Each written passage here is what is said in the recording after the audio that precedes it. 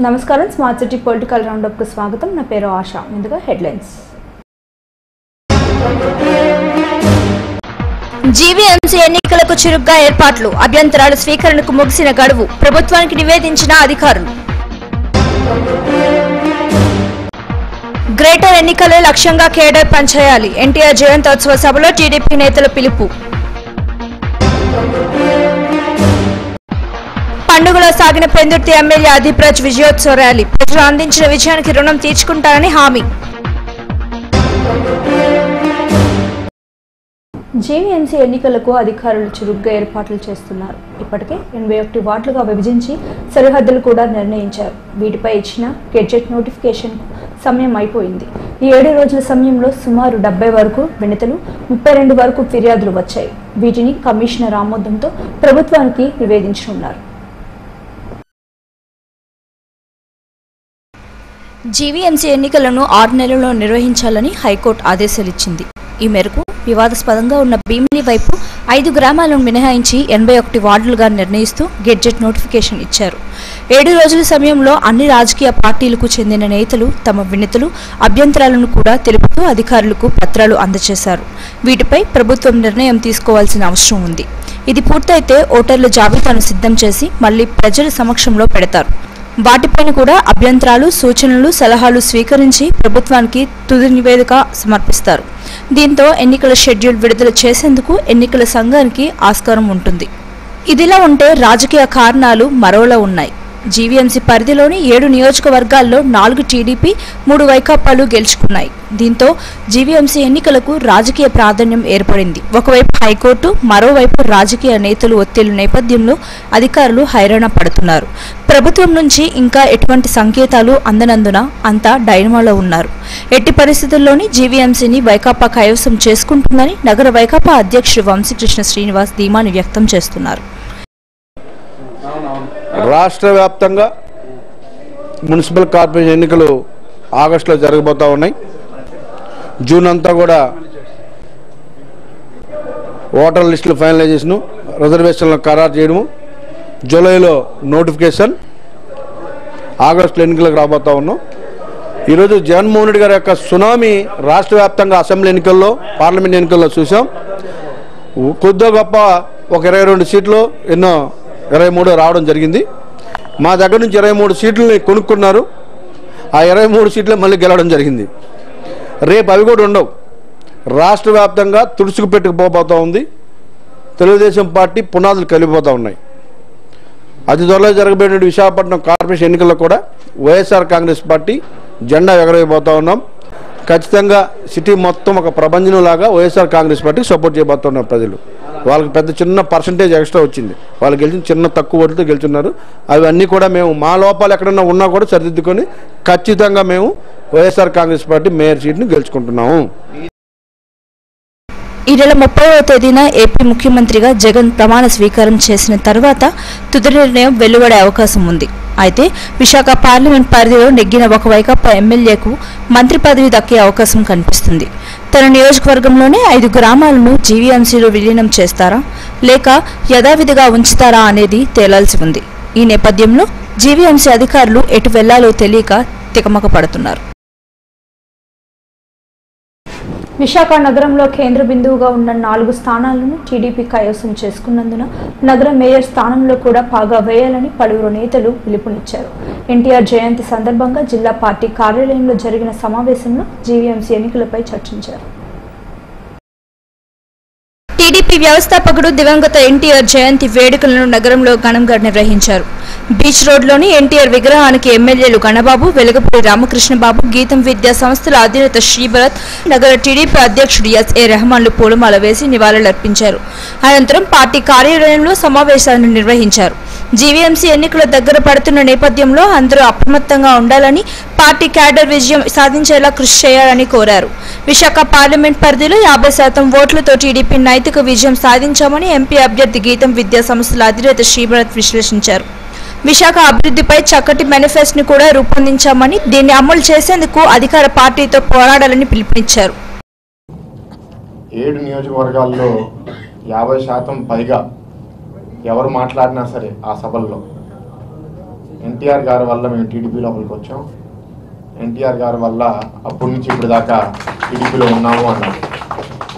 ముప్పై ఆరు సంవత్సరాలు అవుతుంది అది జరిగి ముప్పై ఆరు సంవత్సరాల నుంచి అదే ఆలోచన అదే తపనతో నాయకులు కార్యకర్తలు ఉన్నారంటే ఆ నాయకుడు ఎంత గొప్పవాడో మనమే ఊహించాలి.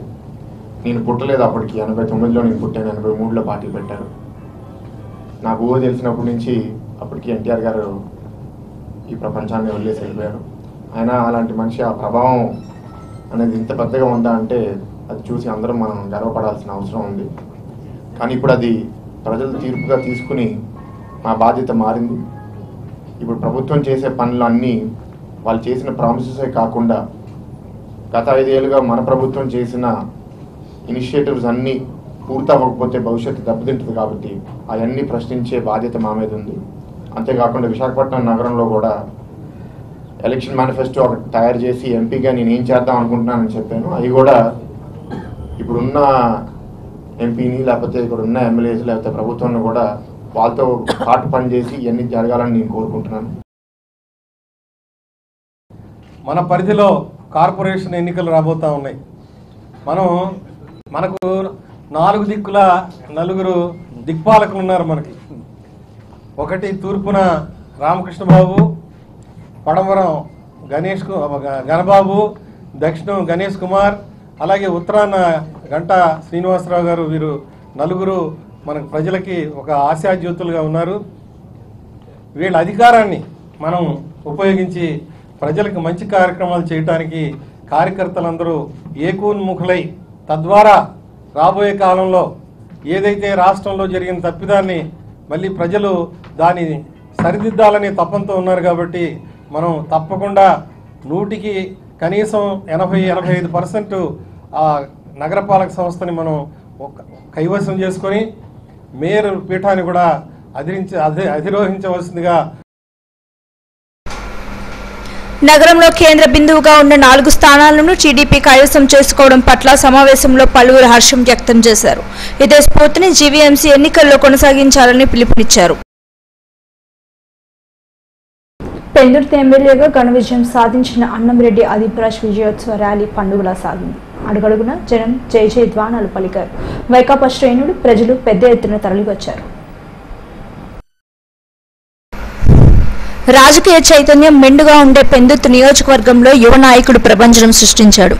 అతిపిన్న వయసులోనే రాంపురం సర్పంచ్గా ఎన్నికైన అన్నంరెడ్డి అదీప్ రాజ్ పదమూడు ఏళ్ళుగా రాజకీయాల్లో ఉంటూ ప్రజాసేవ చేస్తున్నారు. పెందుర్తి నియోజకవర్గ వైకాపా ఇన్ఛార్జిగా పార్టీని విజయపదంలో నడిపించడంలోనూ అన్ని వర్గాలను కలుపుకుపోవడంలోనూ అధినేత జగన్ వద్ద మంచి పేరు సంపాదించారు. దీంతో రెండు వేల పంతొమ్మిది సార్వత్రిక ఎన్నికల్లో ఈ నియోజకవర్గం నుండి టికెట్ దక్కించుకున్న అదీప్ రాజ్ సీనియర్ నాయకుడు మాజీ మంత్రి బండారుతో పోటీ పడి అఖండ విజయం సాధించారు.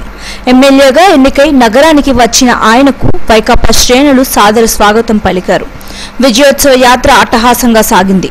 వెంకటాపురం కోడలి నుండి పెందుర్తి జంక్షన్ వరకు అడుగడుగున ప్రజలు నీరాజనం పలికారు. బాణసంచ కాల్చి పండుగ చేసుకున్నారు. పూలమాలలు బొకేలు గజమాలలతో అదీప్ రాజును ముంచెత్తారు. జానపద నృత్యాలు కార్యకర్తలు డాన్సులతో హోరెత్తించారు. పార్టీ రూరల్ జిల్లా అధ్యక్షుడు సరగడం చిన్నప్పలనాయుడు కార్యాలయంలో కేక్ కట్ చేసి విజయోత్సవ సంబరాలు చేశారు. అంతకుముందు దివంగత నేత వైఎస్ఆర్ విగ్రహానికి పూలమాల వేసి నివాళులర్పించారు.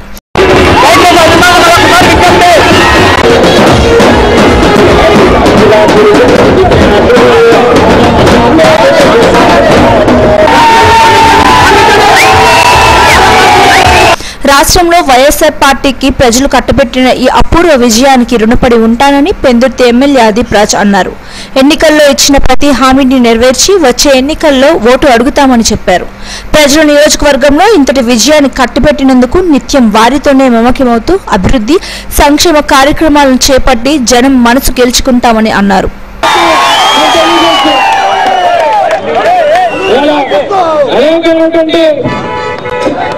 హామీలు మనం ప్రజలకు ఇవ్వడం జరిగింది.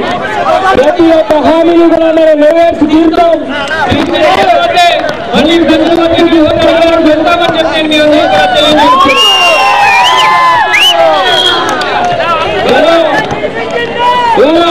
మళ్ళీ పార్టీ కోసం కష్టపడినటువంటి కార్యకర్తకు గుర్తింపుగా ఉద్దేశంతో నియోజకవర్గానికి ఎమ్మెల్యే అభ్యర్థిగా ప్రకటించి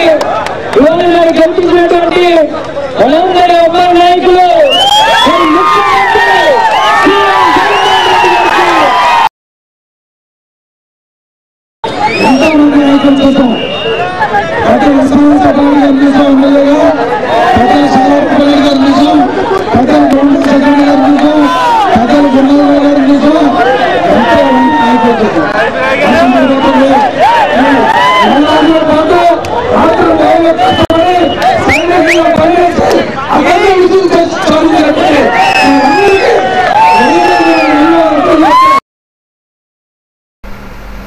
పెద్దుతు నియోజకవర్గంలో వైకాపా సాధించడంతో ఆ పార్టీ శ్రేణులు ఆనందంలో మునిగి తేలుతున్నారు. స్థానిక ఎన్నికల్లోనే విజయదుందు మోగించాలని ఉవ్విళ్ళలాడుతున్నారు ఈ కార్యక్రమంలో వైకాపా నాయకులు జయరాం భగవాన్ వేగి శ్రీను దాసరి రాజు ఎల్బి నాయుడు తదితరులు పాల్గొన్నారు. తెలుగు జాతి ఆత్మగౌరవాన్ని దశా దిశలా వ్యాపింపజేసిన మహనీయుడు ఎన్టీఆర్ అని పెందుర్తి మాజీ ఎమ్మెల్యే బండారు సత్యనారాయణమూర్తి అన్నారు. టీడీపీ వ్యవస్థాపకుడు మాజీ ముఖ్యమంత్రి ఎన్టీఆర్ తొంభై ఆరవ జయంతి సందర్భంగా పెందుర్తి కూడలిలోని ఆయన విగ్రహానికి పూలమాలలు వేసి నివాళులర్పించారు. బడుగు బలిగిన వర్గాల జీవితాల్లో వెలుగులు నింపడానికి టీడీపీ ఆవిర్భవించిందన్నారు. రాష్ట్రంలో సంక్షేమ యుగానికి నాంది పలికింది ఆయనని చెప్పారు. ఈ కార్యక్రమంలో టీడీపీ నాయకులు పీలా శ్రీను రెడ్డి వరలక్ష్మి నారాయణరావు కరకదేవుడు తదితరులు పాల్గొన్నారు. తెలుగువాడి ఆత్మగౌరవం కాపాడటంలో కానీ పేదలకు సంక్షేమ కార్యక్రమాలు ఇవ్వడంలో కానీ మధ్యతరగతి పేద కుటుంబీకులు కూడా రాజకీయాల్లోకి నాయకత్వ లక్ష్యం వస్తాయని చెప్పిన మహానుభావుడు ఎన్టీ రామారావు గారు. తొంభై ఆరు సంవత్సరాలు వారి పుట్టి పూర్తి చేసుకున్న దినం ఈరోజు. తెలుగు వారికి ఎంత గర్వించదగ్గ విషయమో తెలుగుదేశం కూడా అంత గర్వించదగ్గ మహానాయకుడు. అంకికైన చదబడుతుందేమో కానీ ఎన్టీ రామారావు గారు అంటేనే అవినీతి ఆమడ దూరంలో ఉండేది. అవినీతి అనేది ఆయనకి దగ్గరలో రానిచ్చేవాడు కాదు. తన మంత్రి ఒక ఆయన అవినీతి చేస్తే తనే ఏసీపీ చేతి పట్టించిన గొప్ప వ్యక్తి ఎన్టీ రామారావు గారు. అవినీతి పనులు అంటేనే ఆయన దగ్గరికి వచ్చేవారు కాదు. ఏదేమైనా ఎన్టీ రామారావు గారు తనకు ఆశయాలు నెరవేరాలని ఆ మహా రాష్ట్ర వ్యాప్తంగా సంచలనం సృష్టించిన విశాఖ భూకుంభకోణంపై వేసిన సిట్ నివేదికను పునర్విచారణ చేయిస్తానని విశాఖ ఎంపీ ఎంవివి సత్యనారాయణ స్పష్టం చేశారు. విశాఖ అభివృద్ధి లక్ష్యంగా తాను పనిచేస్తానని చెప్పుకొచ్చారు. ప్రత్యేక హోదా సాధనకు తమ పార్టీ కట్టుబడి పనిచేస్తుందన్నారు. స్థానిక హోటల్లో విజిఎఫ్ నిర్వహించిన మీట్ ద ప్రెస్ కార్యక్రమంలో ఎంపీ ఎంవివి సత్యనారాయణ తన భవిష్యత్ కార్యాచరణను వివరించారు.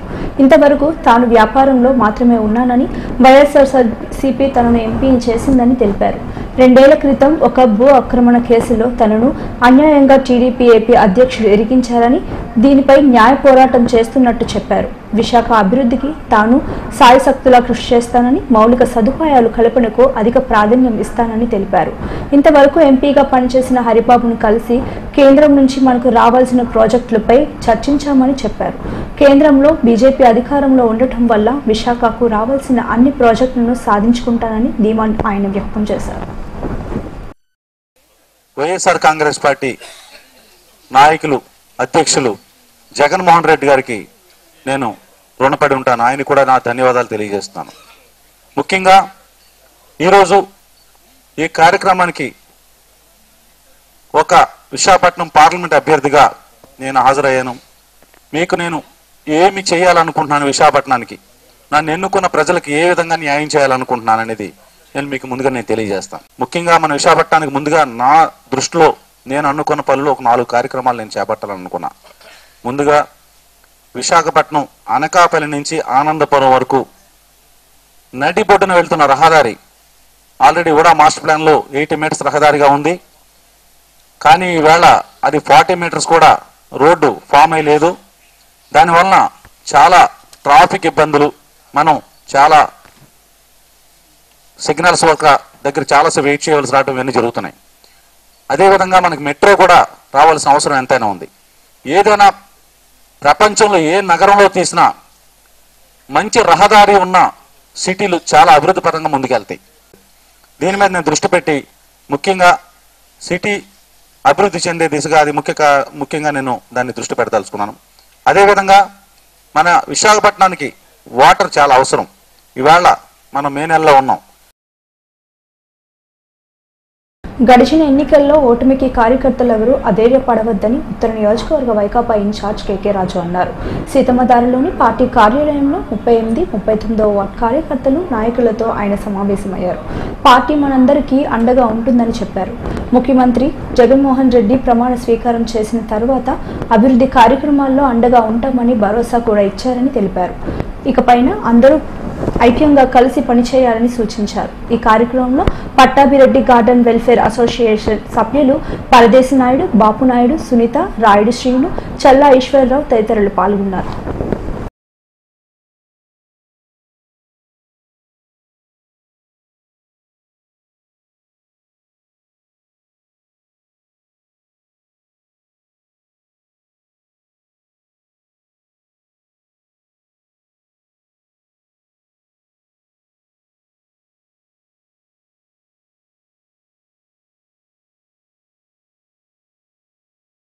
భీమిని నియోజకవర్గ ఎమ్మెల్యేగా ఘన విజయం సాధించిన ముత్తంశెట్టి శ్రీనివాసరావుకు అభినందనలు వెల్లువెత్తాయి.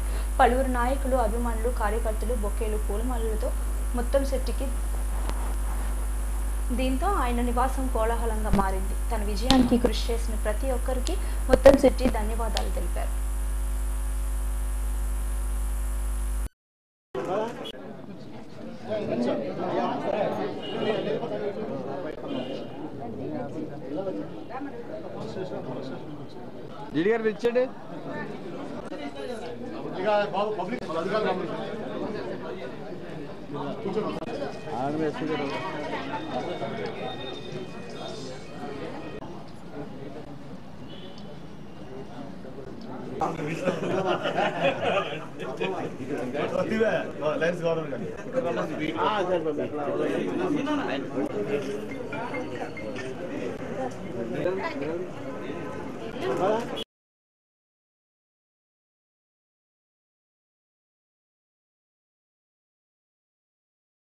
జీవీఎంసీ నలభై ఒకటో వార్డ్ ఓల్డ్ ఐటీఐ జంక్షన్లో ఎన్టీఆర్ జయంతి వేడుకలను ఘనంగా నిర్వహించారు.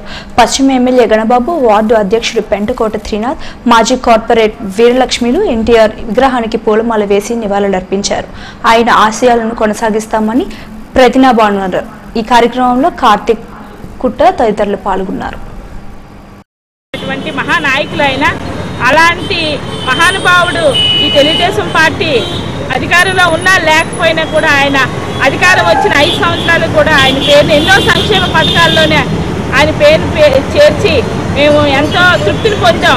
ప్రజలకి కావలసినటువంటి అన్ని సదుపాయాలు కూడా చేసి మౌలిక సదుపాయాలు ఏంటి ప్రజా సంక్షేమ పథకాలు ఏంటి రాష్ట్రాన్ని వెనుకబడిన రాష్ట్రాన్ని ఎంతో ముందుకు తీసుకొచ్చి తెలుగుదేశం పార్టీ అధికారం ఉన్న ఐదు సంవత్సరాలు కూడా చాలా సంతృప్తిగా చేసాం ప్రజలు ఈ రోజు తిరస్కరించలేదు. డబ్బు వల్లే గెలిచింది తప్ప పార్టీ పోవడం అనేది జరగదు. ప్రజలు కూడా ప్రతి వీధిలోని కూడా మహానాడు కార్యక్రమం చేయమని అన్నగారు జయంతి కార్యక్రమం చాలా బాగా చేయమని చెప్పి మాకు ఆదేశాలు ఇవ్వడం వల్ల మేము చేస్తున్నాము ఇక్కడ ఉన్నటువంటి నలభై ఒకటో వార్డు ప్రజలు తెలుగుదేశం పార్టీకి పట్టుకోట ఈ నియోజకవర్గంలో చంద్రబాబు గారు అత్యధిక మెజార్టీతో గెలిచారంటే తెలుగుదేశం పార్టీకి రెండింటి ముందే మంచి సీనియర్ కార్యకర్తలు జీవీఎంసీ పదిహేడవ వార్డ్ పద్దెవెల్టర్ గాంధీ జంక్షన్లో ఎన్టీఆర్ జయంతిని టీడీపీ నేతలు ఘనంగా నిర్వహించారు.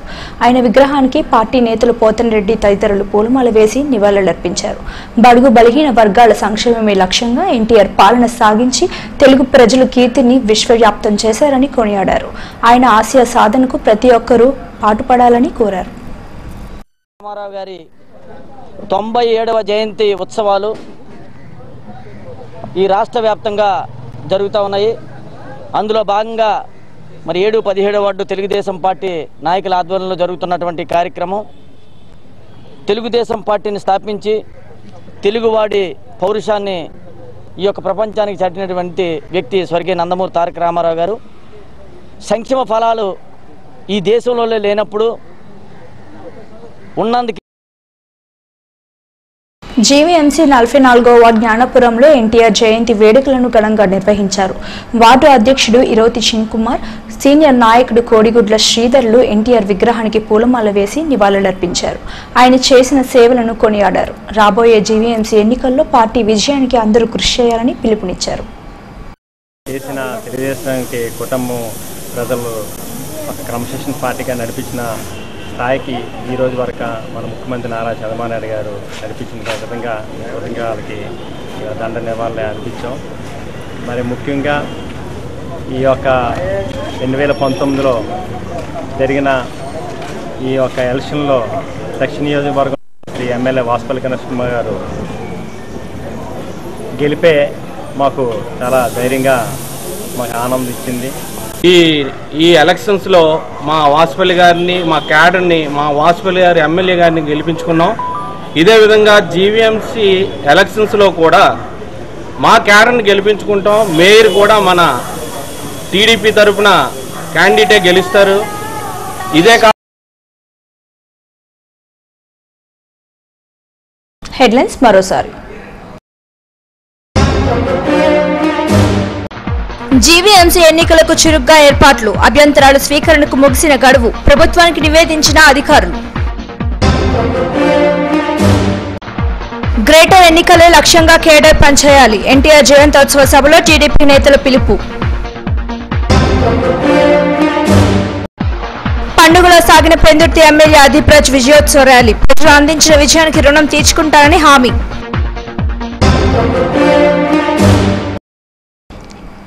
ఇంతటితో స్మార్ట్ సిటీ పొలిటికల్ రౌండప్ వార్తలు సమాప్తం. మరిన్ని వార్తా విశేషాల కోసం చూస్తూనే ఉండండి. STV news